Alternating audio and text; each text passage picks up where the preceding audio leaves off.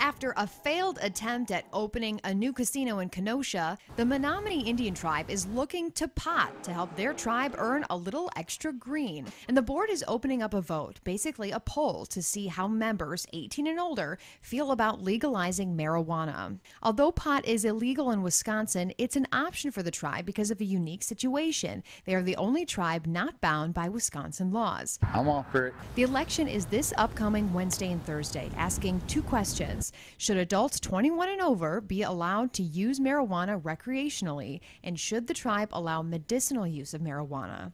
The vote is not binding, and the tribe's governing board will have the final say. And there would still be legislation to be passed before any marijuana business gets the green light. Documents posted by the tribe explain they would regulate and tax their marijuana, but only licensed businesses would do the growing and selling. Only small amounts would be sold, perhaps as little as 2.5 grams per day, the equivalent of about four or five marijuana cigarettes, according to the documents.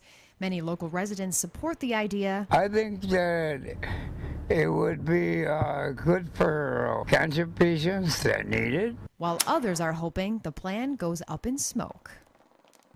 The results of the vote are expected to be announced on Friday.